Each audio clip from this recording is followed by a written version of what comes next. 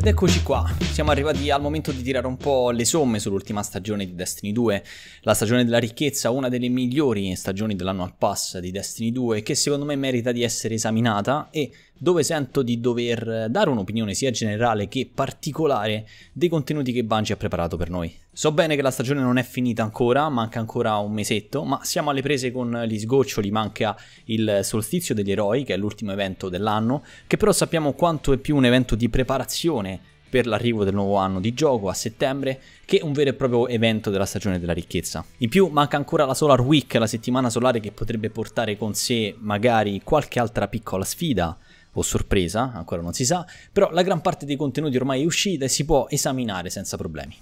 La stagione della ricchezza, come le altre d'altronde, non è stata presentata in pompa magna da Bungie. Fino a pochi giorni prima della sua uscita non sapevamo a cosa andavamo incontro, sapevamo che in qualche modo era collegata con Calus, il personaggio misterioso, l'imperatore opulento dei Cabal e aspettavamo dunque di far luce su questo personaggio che sappiamo essere invischiato in diversi aspetti della lore di Destiny. Purtroppo non è stato così dal punto di vista della storia eh, purissima, non c'è stato un grande passo in avanti. Tutte le attività intorno eh, a Calus e a questa stagione non sono state rivelatrici di niente riguardo a Calus, né tantomeno alla sua direzione, ma un continuo di quello che abbiamo visto invece nell'anno 1, quindi un Calus che vuole metterci alla prova, prima con il serraglio e poi con il raid, ma in entrambe le attività non ci sono stati grossi passi in avanti riguardo alla storia di Destiny. Tanto invece è stato fatto riguardo alla lore e proprio grazie a Raid e alle nuove esotiche si è capito tanto invece dei perché Calus aveva qualcosa dell'alveare all'interno del Leviatano e anche del piccolo inganno di Savatun fatto appunto a Galra. Ma mi limito a questo, se volete sapere di più sulla lore di Destiny e la storia di questi personaggi vi consiglio di guardare i video di Lorenzo Divus, trovate il link in descrizione per appunto sapere di più sulla lore del gioco. Partiamo proprio dal principio però, noi e, e, tutto è partito con il day one della stagione, con l'arrivo del nuovo raid, questa volta Bungie ha fatto le cose fatte bene, la corsa a raid del day one è sempre stata un po' particolare ed il caso eh, di dire magari anche impari, Tanta, tantissima gente si è chiamata fuori da questi contest nel corso del tempo perché il modo ed il tempo in cui si accedeva a raid era proibitivo per molti. Il farming compulsivo che c'era da fare per raggiungere un cap di luce decente per partecipare in passato era brutale e questo ha sempre limitato l'accesso e la partecipazione alla corsa eh, World First appunto a molti. In questa stagione invece è stata Bungie a mettere dei paletti con delle regole per questo contest che è stato seguito e ha fatto partecipare in maniera passiva tutta la community che si è riversata su Twitch appunto per seguire questa sfida. Rinnovo, ne approfitto di nuovo i miei ringraziamenti per tutto il supporto che ci avete dato anche a noi durante questa piccola gara. Poche ore di preparazione ed il raid aveva dei limiti di potere, quindi il tutto era cappato ad un certo livello in modo che tutti si trovavano di fronte allo stesso livello di difficoltà e quindi l'unico scoglio da superare era quello di dover riuscire a capire e sconfiggere le meccaniche del ride in tempo, il che ha reso la corsa decisamente più avvincente e meno scontata del solito. Purtroppo, piccolo appunto, noi in Europa eravamo leggermente svantaggiati perché appunto giocavamo di notte, però ecco, questo è quanto. Una cosa secondo me gestita in maniera impeccabile che ha dato la possibilità a tutti i team anche quelli che magari non sono abituati a fare questo tipo di cose, di partecipare e far parte del grande ingranaggio del day one di Destiny, che secondo me è una cosa che va vissuta almeno una volta per stringere un legame eh, particolare con i vostri compagni. Il raid di per sé io lo giudico positivamente, è ben congegnato, ed è progettato sulla falsa riga di quello di Shagura del passato. Abbiamo un pattern da seguire all'inizio che si ripete poi durante tutti gli step e che troviamo anche nelle meccaniche del boss con l'aggiunta di altri elementi. Quindi anche qui c'è una crescita eh, di meccaniche e di difficoltà durante tutto il ride. Personalmente lo trovo anche migliore rispetto a Shagura, sia dal punto di vista della lore, quindi della storia che racconta, e della presenza di Galran dentro eh, Leviatano, e sia anche dal punto di vista delle ambientazioni, ma penso che sia eh, poi anche una questione di gusti personali. Prima vorrei fare però una premessa, come è successo con la stagione del Ramingo, quella precedente a questa, c'è una cosa entry level da fare che permette lo sblocco delle attività. In questo caso una piccola questline che ci porta da una parte all'altra per fare delle piccole missioni e che alla fine ci ricompenserà con equipaggiamento al 690. 690 è il punto di partenza del serraglio nella sua modalità normale e che quindi dà l'accesso anche a chi magari è tornato da poco e magari anche ai nuovi giocatori. L'attività, come tante altre nei suoi ultimi step, naturalmente scala verso l'alto e quindi diventa sempre più complessa, però quantomeno si può entrare e se si trova un team un po' organizzato si riesce anche a finire. Però diciamo con il livello di 6,90 sia una base di partenza interessante per fare tutte le attività del gioco.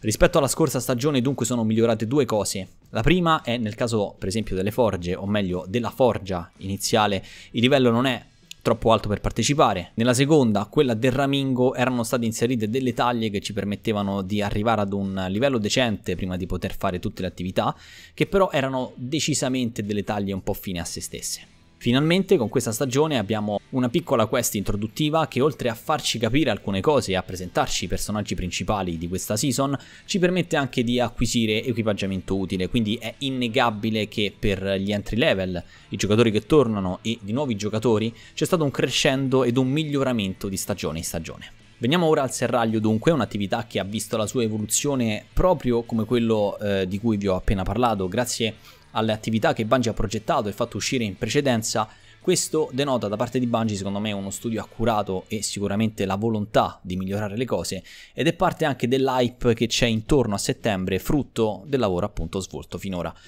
Per spiegarvi brevemente questa evoluzione partiamo dalle forge, un'attività che dura circa 10 minuti, con una meccanica semplice, tre giocatori e con il matchmaking. L'unica difficoltà è sempre solo stata il livello di luce, perché la meccanica è sempre la stessa, cioè tirare le cariche nelle forge e alla fine far spawnare il boss, punto. Ricompense ok, visto che le potevamo comunque scegliere grazie ai telai, e naturalmente c'era una parte random che appunto riguardava i perk. La parte non ok è sicuramente stato il modo eh, di sblocco delle forge e la necessità di dover rifare le stesse quest tediose per tutti i personaggi. Quello è una pagina secondo me nera da cancellare. Verdetto, stagione del Ramingo, attività da 4 giocatori, matchmaking sì, difficoltà crescente e meccaniche interessanti, che però fino al terzo step sono uguali e le boss fight cambiano. Purtroppo loot random, e questo è il punto negativo di azzardo, ed ottenere le armi del verdetto e della stagione del Ramingo era veramente complesso, anzi è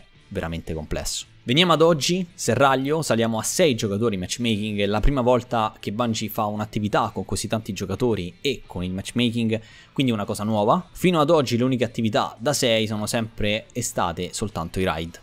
Meccaniche decisamente buone, è una modalità fatta a step, dove ogni step, oltre ad esserci una difficoltà crescente data dalla luce, c'è anche una difficoltà data dallo step stesso. Si arriva infine ad un boss con meccaniche uniche che gira ogni 3 settimane, quindi un boss a settimana ed i boss in totale sono 3. Ci sono tutte le basi per un'ottima attività ed il loot il loot lo scegliamo noi, con addirittura la possibilità di scegliere anche il prodigio dove lo vogliamo, grazie appunto al calice di Calus che eh, ci permette tramite delle rune di poter scegliere appunto il loot che vogliamo a fine serraglio, il che rende questa attività decisamente appetitosa e remunerativa per due motivi. Il primo sono le armi che ci sono al suo interno, sono ottime sia a livello di statistiche che sia anche per bellezza, diciamo così, per estetica. Vedi l'amato o vedi il falconiere. Secondo punto, fino a poco tempo fa eh, c'è stato anche un piccolo glitch che permetteva ai giocatori di farmare la cassa finale più e più volte. E qui veniamo ad un piccolo problema, forse l'unico neo della stagione nato appunto da un glitch.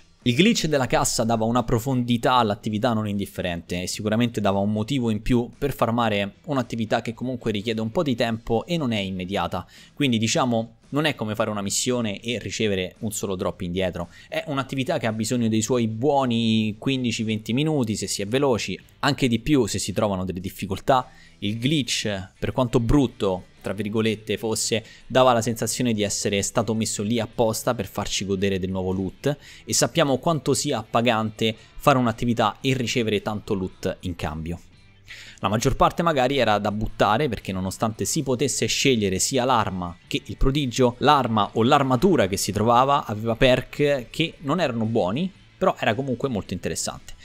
Ad oggi questo piccolo glitch è stato sistemato e alla fine della fiera si può prendere un solo drop dalla cassa che purtroppo eh, ha visto un allontanamento di massa da questa attività. Fin da quando è stato annunciato questo fix la preoccupazione era tanta e si è cercato di far ragionare Bungie nel trovare una via di mezzo tra il glitch ed il normale loot e quindi dare la possibilità di aprire magari più volte la cassa o magari in base al punteggio che si otteneva avere più casse alla fine.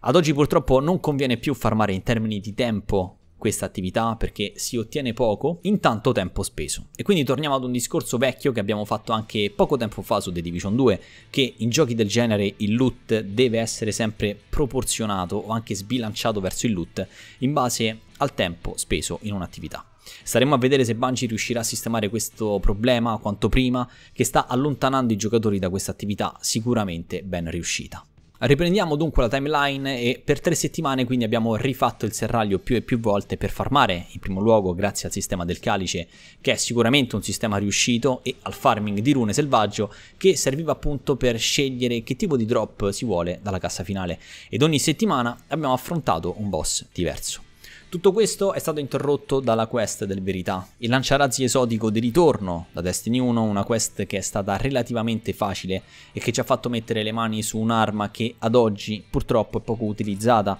Trova spazio solo in crogiolo purtroppo e anche lì un po' zoppica a uscire fuori dal coro. La quest di per sé è stata abbastanza semplice e riprende un po' il sistema classico delle quest esotiche, quindi niente di nuovo, diciamo che è al limite della sufficienza secondo me.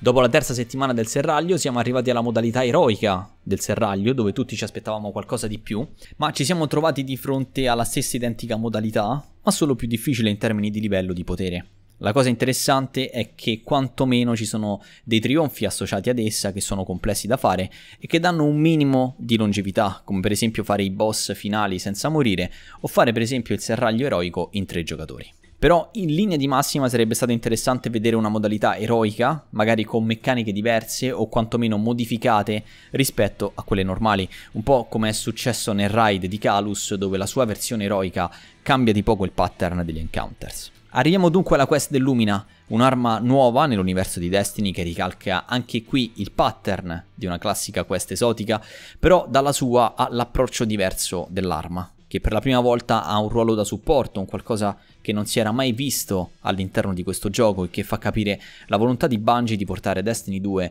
sul livello o quantomeno di contaminare il gioco con elementi eh, di RPG più classici. Il tutto arriverà a maturazione a settembre dove con Shadowkeep vedremo anche l'arrivo di più statistiche sulle armature e di spiccati elementi RPG. Ad oggi l'unico dungeon o segreto, chiamatelo come volete, è quello del malvagio karma, che ci fa entrare finalmente nel piano ascendente all'interno del Leviatano per recuperare ancora una volta un'arma dell'universo di Destiny andata persa dopo la guerra rossa. La missione è decisamente accessibile a tutti, a parte la preparazione che necessita di depositare 18 tributi in questa sala creata apposta per noi da Calus, ma la missione come dicevamo è relativamente semplice, bassa di luce, senza meccaniche e quanto pare senza segreti. Questo fa pensare che probabilmente Bungie ha in serbo qualcos'altro per noi, visto che la stagione, come vi dicevo, non è finita.